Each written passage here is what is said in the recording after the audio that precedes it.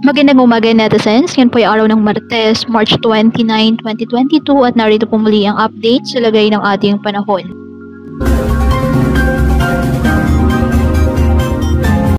Sa kasalukuyan, patuloy pa rin po na nagpapaulan sa ilang bahagi ng ating bansa ang low pressure area. Samantala, ang easterlies naman po ay nakakaapekto sa nalalabing bahagi ng ating bansa.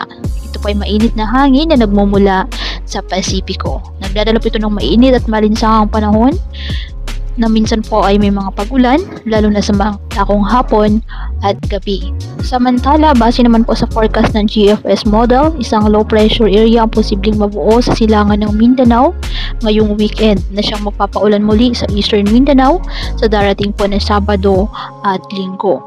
Posible pa rin pong magbago ang nasabing forecast kaya patuloy lamang po magantabay na po nating weather updates at sa mga updates po na ipapalabas ng pag-asa. At para naman sa magiging lagay ng ating panahon, dyan po sa may Palawan, Kalayaan Islands, Puerto Princesa, asahan pa rin po dyan ang makulap na kalangitan na may mga pagulan, epekto pa rin po ng low pressure area.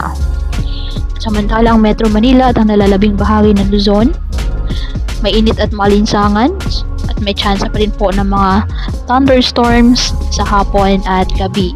Samantala, dyan naman po sa may Sambuanga Peninsula, asahan pa rin po dyan ang maulap na kalangitan na may mga pag-ulan dahil pa rin po sa low pressure area. Samantala, dyan naman po sa may Sambuanga area, asahan pa rin ang maulap na kalangitan na may mga pag-ulan dahil pa rin po yan sa low pressure area. At ang nalalabing bahagi ng Mindanao, kasama na po ang Kabisayaan, bahagyang maulap hanggang sa maulap na kalangitan with isolated rain showers or thunderstorms dahil naman po sa easterlies.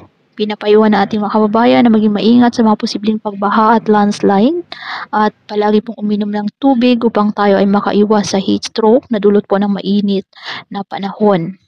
At yan po muna ang update sa lagay ng ating panahon ngayong araw. Muli, patuloy po tayo na mag-ingat at palaging tandaan, God loves you. Stay safe and God bless.